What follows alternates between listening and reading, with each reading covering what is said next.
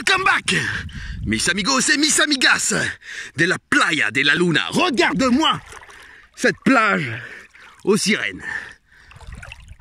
Un indique m'a dit que en dessous, oui, en, en dessous, enfin, là, là quoi, il y avait une grotte sous-marine avec à l'intérieur pas moins de 200 sirènes.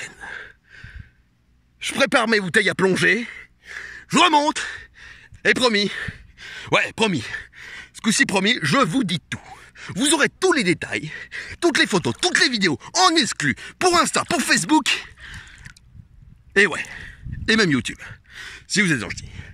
En attendant, oubliez pas, les pélicans, ça bouffe des glands, les castors, ça bouffe des noisettes, et la canicule, la canicule est dans mon cul, cul, cul, cul. On se calme. Faudrait pas euh, effrayer la sirène. Donc, pas de bruit quand on pêche la sirène. C'est la règle. Allez, bisous. Je vous aime, putain.